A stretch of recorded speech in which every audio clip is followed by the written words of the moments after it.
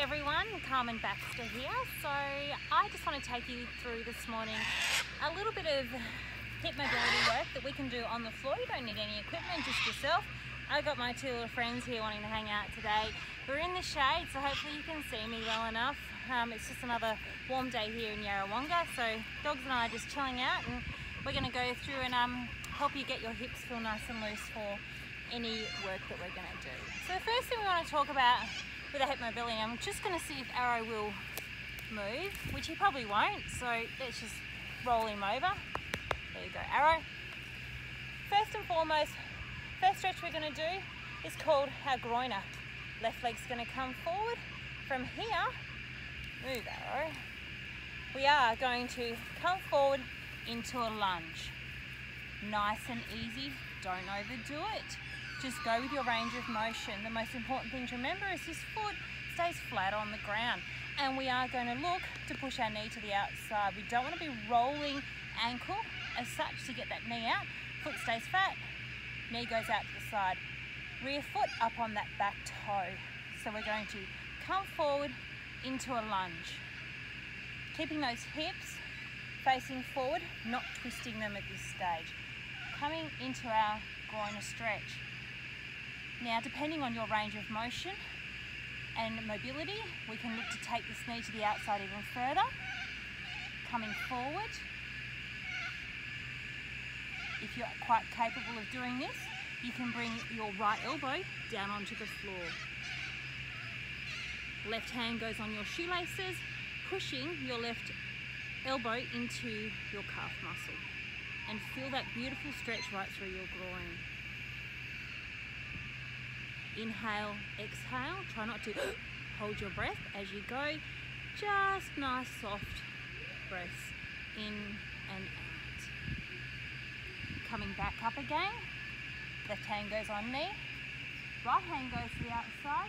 Pushing that left knee and then twisting around to the other side.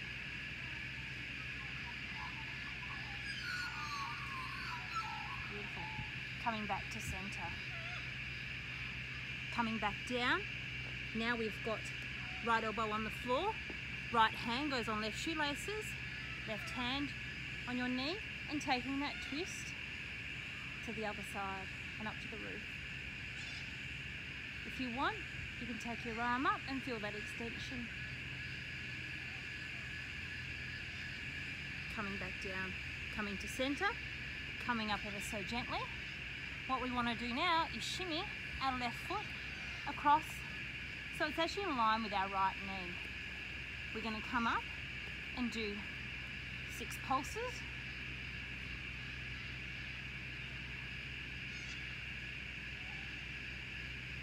From here, lowering ourselves down into pigeon. Work with your own range of motion and ability. If you're finding that this is hurting, you need to back off a little bit.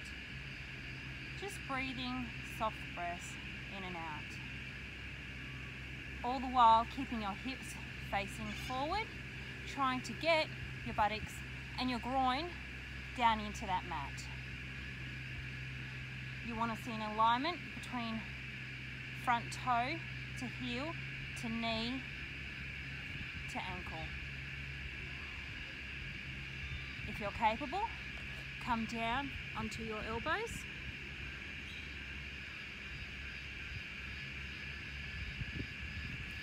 going forward from here, if you're able, take your hands forward and sink that torso to the mat. Again, purely just working with what feels comfortable for you. For some people, being up here is as far as they can get. Some can come down a little bit further.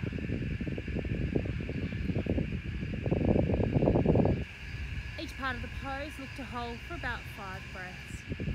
Coming up, we can take this twist the left.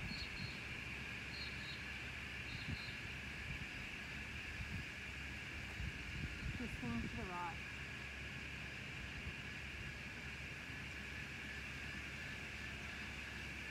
Coming back to centre. We're going to look to change legs. Coming out of the pose, pushing up, coming back. If you like, pushing back to down dog as far as you can go. If you need to walk your hips out for a moment, just loosen them back up. From here, forward with the right leg, left knee goes on the ground. And we're going to repeat this sequence now on the other side of our body. So again, right foot flat on the ground, elbow can go into your calf, pushing that knee to the outside. Feeling that beautiful stretch through your groin. Left elbow can go on the floor. Left hand on the shoelaces. If it helps you keep that foot flat, go for it. And pushing that knee away. You can take that twist to the ceiling, to the roof. Feel that beautiful stretch through your thoracic, lengthening of the body. Coming back to center. Bring my hand away from my body, push my knee away from my body.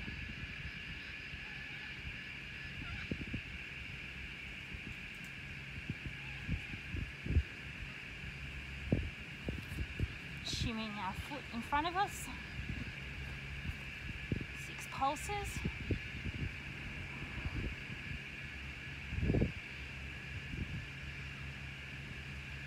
Coming down to pigeon. Now I definitely notice the difference between my left and my right side. So don't beat yourself up about it if one side you feel amazing and the other side you're sort of like, oh, it's a bit prickly. It's okay, we'll get there. Again, looking to get that groin towards the floor. Maintain the integrity of those hips facing forward and being up. Good. Again, alignment, toe, heel, knee, rear foot. If you're capable, come down onto your elbows. You can take this one more forward and coming into a forward fold, face on the mat. Each of those I would hold for say five seconds, five breaths each. Coming around, taking a twist to the left, followed by to the right.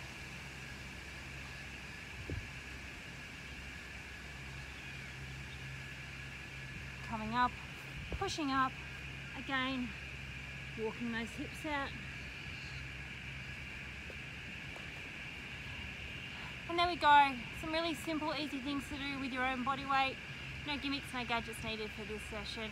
Hope you enjoyed it. Talk to you soon.